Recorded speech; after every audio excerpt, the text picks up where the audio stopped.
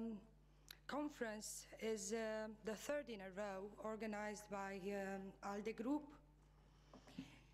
with the policymakers and the stakeholders and is anticipating the publication by the Commission next week of the new proposals for TEN-E and TEN-T financing and uh, the new uh, multi-annual financial framework connecting Europe facility.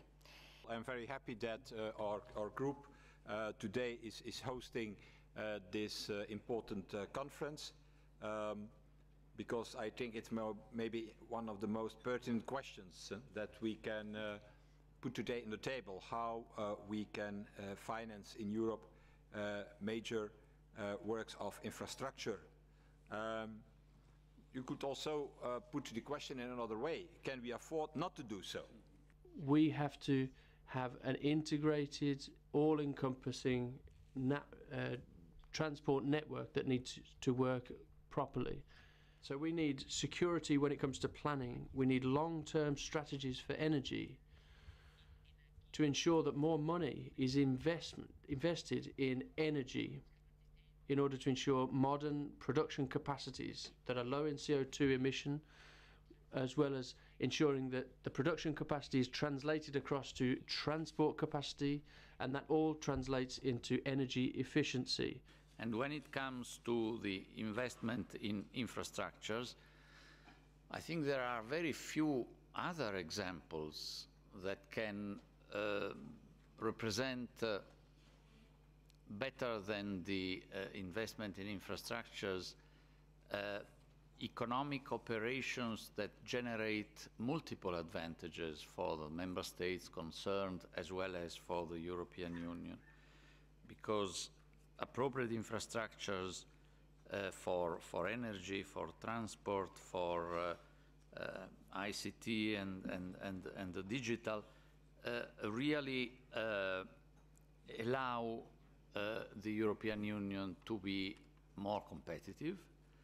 Considering the growth uh, forecast in traffic between member states, which is expected to double by 2020, the investment required to complete and modernize a true trans-European network in the enlarged EU amounts to roughly 500 billion between 2007 and uh, 2020. In the field of telecommunication, um, there the uh, Europe 2020 strategy has underlined the importance of broadband deployment to promote, promote social inclusion and competitiveness. First of all, it's a a question of finance and not vision. The vision is there and the vision is very compelling and very inspiring in terms of what, what we want to do across infrastructure in Europe, but the money isn't there. So we have to get the finance side of it right. Um, the second takeout I'd like you to take is that it's a question not of the public purse. The public purse will not be able to afford what we're trying to do on infrastructure. It's all about the framework you create and the policy and the regulatory environment. And things like we've just heard are very helpful, um, but they're helpful as part of a wider environment and framework that needs creating.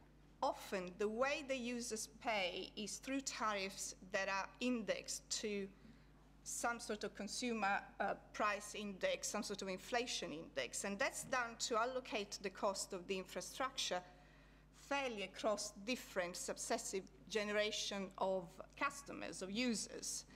Uh, these also mean, from an investor perspective, that these kind of models can provide inflation protection over a long period of time. We have 29 legislative measures on financial uh, services how, how, how do these proposals fit in with those? Um, can you tell us vis-a-vis -vis the ones we've already got, like Solvency II, uh, where we're going vis-a-vis -vis them with, with capital requirements? Uh, and and, and uh, obviously we're coming along and we'll be redoing uh, the pensions funds and, and, and lots of other things. To finance infrastructure, you first and foremost need a good project pipeline. If you have a good project pipeline, and that the experience I think in, as the minister just, just explained, if you have a good project pipeline, you have funding, And in many cases, when the project is well structured, in particular as most member states are now beginning to develop uh, revenue schemes for, for all types of, of modes of transport, in that case you can find financing, funding and financing. More than 400 billion euro have already been invested in the TEN-T network. One third of this amount comes from the EU funds. We can say uh, very serious that without this money, some of these projects um, will be still in on the shelves and wait for their chance. The main part of the EU support for the effective development of the TEN-T network has been implemented through the cohesion policy. And we see how it works, and uh, in our opinion, it works very good.